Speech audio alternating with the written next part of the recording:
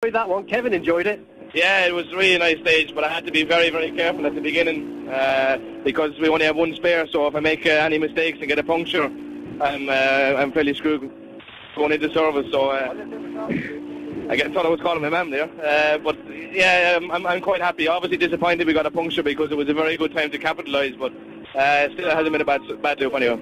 I don't know what to ask you now. It's put up on that telephone being put in your face. Yeah, it was like the what was the one the guy used to go on with the big uh, trigger happy TV, uh, something like that. Uh, it's good. So it's all good. Well, what